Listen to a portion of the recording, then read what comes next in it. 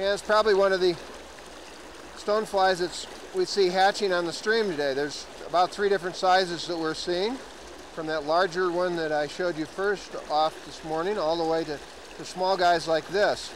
Uh, there's a variety of species of stoneflies available. Small stoneflies like this one primarily have a one-year life cycle. And they start out as small eggs that are deposited on the stream bottom. They have what is called an incomplete life cycle, which means that they hatch out of an egg and look similar to this little stonefly.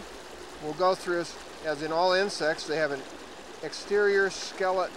They have a harder shell on the outside instead of an interior skeleton like we would have.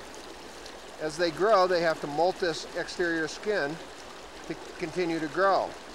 They'll molt that skin four or five times during the course of a year, grow up to this size, and probably hatch at approximately this time of year uh, next year. But some of the larger stoneflies that we have have a very similar life cycle, except it takes them up to three years to grow up big enough to emerge into a winged insect. I was mentioning about some of the large stoneflies having more than one year life cycle as their underwater form. And here I've collected three age groups of the same species of stonefly. This is one called Pteronarcys, goes by the common name of salmon fly or trout fly or fish fly, depending on where, what stream you may be fishing. These insects live for three years. Now, the hatch has already happened for this year, so we have one large one that's a two-year-old, one that's a one-year-old, and the small one would be just hatched from this year. You can imagine this large insect, this is in the range of almost two inches long right now. By next spring, when it's time for him to uh, hatch into a winged insect, he'll be close to three inches long. Very big insect. But here's another interesting thing about stoneflies. And this particular variety is a complete vegetarian. He has scraping mouth parts and he scrapes algae off of the rocks. But if, I look, if we look at underneath of this stonefly, we can get an idea of why they have to live in the types of water they live in. Underneath his legs here, he has these fuzzy material. This is his gills.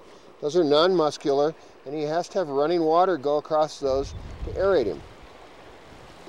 So it restricts our stoneflies to pretty much fast-moving water that can aerate their gills. Another thing that we like to see interesting about these big stoneflies is that if they get rolled out from underneath a rock, they take a very interesting curved position. They don't swim very well. You can see by them walking around here in the water that they're not very agile and a little bit lethargic. So they're not very good swimmers either. It's one key to the type of fly we might use for an imitation. If I take this guy out of here and drop him back in the water, as if he were washed out from underneath a rock, he'll take a very curled up position to help him make himself more dense and sink back to the bottom so that he can uh, get among the rocks. It's a very good element to use in stonefly nymph imitations is on a curled hook so that they look, whoops, looks like this stonefly that's just washed out from underneath a rock. And as soon as he gets to the bottom, then he'll stretch out and, and go for cover.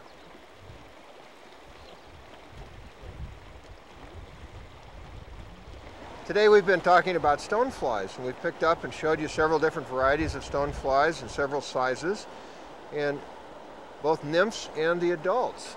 And one of the, and, and one of the things that we probably ought to look at and always of interest to folks is what kind of flies you'd use to imitate these particular stoneflies.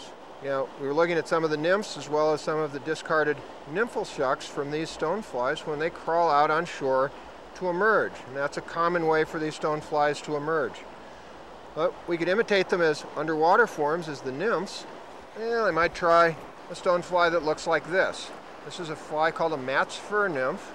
And it's a very nice stonefly imitation for these lighter colored stoneflies. This one was kind of a tan. Now this looks really light colored. If I put this in the water and get it wet, we'll find out it takes a considerably darker shade like that.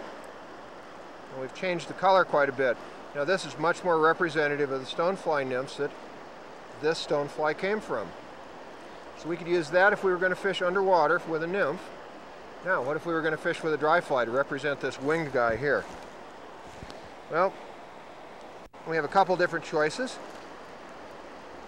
This is a stonefly of my uh, that I've devised, and it's a dry stonefly. It's kind of a copy off of several different types of stoneflies that were inspired by some eastern patterns. Uh, it rides low in the water and does a very good job of imitating uh, these stoneflies as they sit low in the water. These, these insects are not good swimmers. They return to the water to lay their eggs. And after they've laid their eggs, they don't have any more energy anymore, so they drift on downstream and become food for the trout.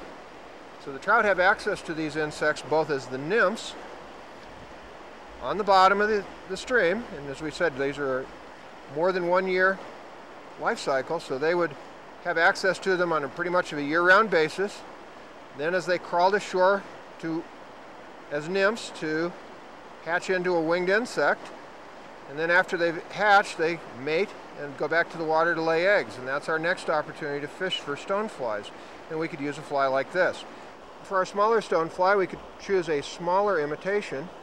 Uh, this is one that would be called a Schroeder's. This is a, here's our smaller stonefly. And here we have another imitation. This isn't as bushy because this isn't as big a fly. It would be called a Schroeder's parachute stonefly devised, fly devised by a fellow named Ed Schroeder. And we have the same opportunities with a smaller stonefly, both as a nymph and fishing it after it comes back to lay eggs as an adult.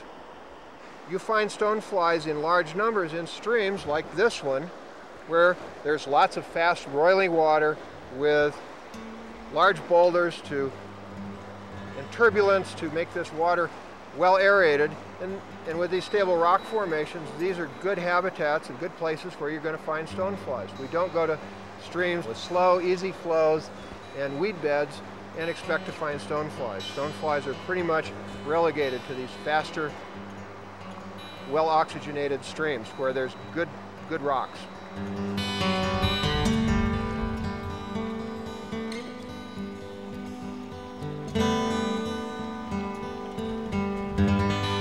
Now the nymphal form of these large stoneflies, because they have a three-year life cycle, are very important to the angler because they're common in the stream 12 months a year, 365 days a year.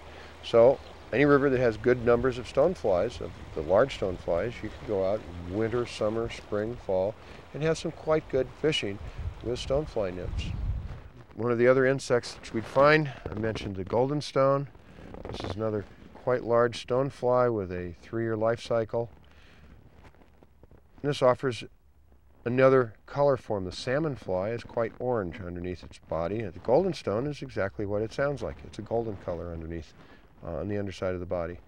And both these are spring hatching stoneflies and amount to a great deal of furious activity for a relatively short time period, maybe a week to 10 days for each of these insects. Uh, then we have a lot of other time that, uh, that these are not present and the fish don't respond to them. So it's, a, it's pretty exciting when it really works well and it's a little discouraging when the fish have decided not to eat those big insects. Yeah, sometimes overlooked by the anglers are the smaller stoneflies. Here's one that would be imitated by something in the size mm, 10 or size 12 adult or nymph uh, and amount to an awful lot of the stoneflies that may be present in a stream uh, during the summer months. Most of the smaller stoneflies have a one-year life cycle as opposed to the large ones with a three-year life cycle. So they're present and most fishable during the spring and summer months. And uh, these are commonly, you know, in some areas overlooked just because they are not the big and, and enormous stoneflies um, those large stoneflies, by the way, are, can be imitated by size 4 dry flies. It's a big dry fly. Here's an example of one of the smaller stoneflies. And these would be imitated by something in the range of a size 14 or 16, both nymph and dry fly. And in many streams, they're extremely common, and they do get fished a little bit as adults. They have a common name that they're called yellow sallies, or little yellow sallies, depending on the area. And they amount to some outstanding fishing, and sometimes for up to two months during the summer instead of a week, as in the big ones. These small stoneflies also have a one week life cycle. And as with all the stoneflies, pretty much, there are a few exceptions, but with pretty much all the stoneflies, they're available to the trout as nymphs, and they're available to the trout as winged adults. They crawl out of the river and crawl into the vegetation and bushes and rocks along the bank and go through their emerging process there, in away from the trout, away from the birds, and under under some form of cover. So they really aren't available to the angler as an emerger. We have the nymph and we have winged adults. One of the important elements of stoneflies, and it limit, that limits where they live, uh, has to do with the type of water and their gill system. Uh, stoneflies have gill system that requires highly oxygenated water. And as a result, we don't find stoneflies in, as a general rule in slow-moving uh, streams. We don't find stoneflies in lakes because there isn't enough active water, aerated water for them. And they're referred to as stoneflies, and it's possible because of the stony parts of these riffle areas where they most commonly live.